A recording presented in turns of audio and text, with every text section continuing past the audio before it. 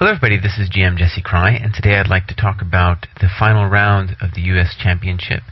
And there, Nakamura won a very nice game against my friend Joshua Friedel, aka the Panda. And it was based a lot, I think, on opening preparation, and it involved um, a variation that I've talked about here at the site called the fried liver. And let's get those moves on the board before we talk about it further.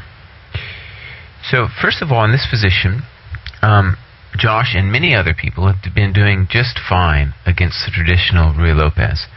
And they've also been doing fine against d4, the Scotch. And Kasparov has known to have said that really he feels that these are the only two attempts by White to um, give White an advantage. And even though Kasparov himself has played this move, it's generally not given the greatest reputation and in my video series on this, I've really tried to say that, in fact, this was one of the more dangerous ways for white to proceed, especially given the fact that the Scotch and the Ruy Lopez aren't really doing all that well. And so Nakamura, first of all, by choosing this, I think chooses a dangerous line, but also um, he's uh, choosing something that uh, Josh, I know, uh, thinks that black should just be fine in. And the reason they think they're fine is that after knight f6, if you don't play knight g5, you just play d3, then black can just develop normally. But after knight g5, white's, of course, moving a developed piece twice. And we're going to get a situation where black's going to sacrifice a pawn, and um, it's going to get some dynamic play. Let's look first at how this happens. This is the idea. C6 takes, takes. And this is a position that's been seen many times. And it seems on the surface that white has um, maybe not enough play for, or his pieces are so poor that this pawn isn't simply worth it. Black has a nice central pawn. His bishops are ready to come out. Uh, beautiful central control. This knight is going to have some grief. Now, in my series on this, um, what I recommended was this move, bishop e2, and after h6, knight h3. This is a move that Steinitz had played, um, Fischer had played, and recently Short had played some nice games in this variation. And I think this is still totally playable, but Nakamura comes up with an excellent idea. Had been played really only in a couple of blitz games by Morozevich, and it was really interesting. After the game, uh, Nakamura said that you know he had seen this one blitz game by Morozevich and knew it had to be good, and then you know spent some time preparing this. And this was a key factor in this game was that he was able to prepare this little-known move here, Bishop D3, which I hadn't really seen before. And so by preparing this, uh, before the game, knowing that it's a reasonable move, uh, a rather new move that I had never seen before, and many other players hadn't seen before. I think for sure Josh hadn't seen this before. It became um, a difficult situation over the board.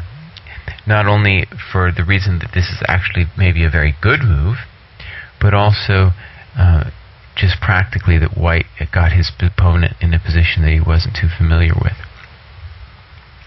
So it's questionable what how black should arrange his pieces. Um, let me just say, maybe first of all, the reason this move looks so silly is it looks like an amateur move. By stopping your pawn from moving, it seems like black is just going to have enduring compensation. But the main feature of this move is that now if the knight gets kicked, he can return to e4. And this is substantially better than the variations where you have to go to knight f3 or to h3, because knight f3 you get pushed with e4. And that's a, an old line, and that was the line that I knew of when I was a kid. Um, so this variation sacrifices the development of this bishop, at least for the moment, for the sake of helping the knight on g5 come to a more natural square if it gets kicked. Okay, now let me just say, I, when I first saw this, I still felt that this was a very good uh, position for Josh, even if uh, the computer said that it was better for white simply because it seems like black is going to have an enduring initiative. But as it turned out, it was very hard uh, for, for black to find anything in this position. And if that's the case, and that's at least what Nakamura was claiming in the post-game interview, then this really um, is is a big theoretical step in the uh, the so-called fried liver attack. By the way, the fried liver. Um,